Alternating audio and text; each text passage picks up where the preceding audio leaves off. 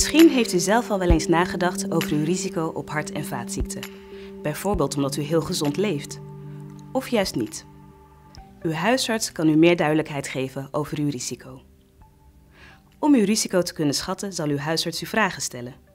Deze vragen gaan bijvoorbeeld over roken, alcohol, over hart- en vaatziekten die misschien in uw familie voorkomen, over wat u eet en drinkt, over sport en dagelijks bewegen en of u veel stress heeft of last heeft van somberheid.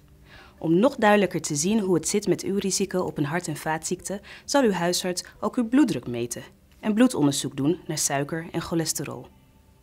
Ook kan in uw bloed en urine worden onderzocht hoe goed uw nieren werken. Als al die dingen bij elkaar op een rij staan, kunt u samen met uw huisarts bespreken of er een kans is dat u een hart- en vaatziekte krijgt. En zelfs hoe groot uw kans is om binnen 10 jaar aan een hart- en vaatziekte te overlijden. Het is maar een schatting, een gemiddelde kans. Het komt bijvoorbeeld voor dat iemand met een hoog risico toch heel oud wordt. En iemand met een laag risico kan toch een hartinfarct of beroerte krijgen en klachten houden.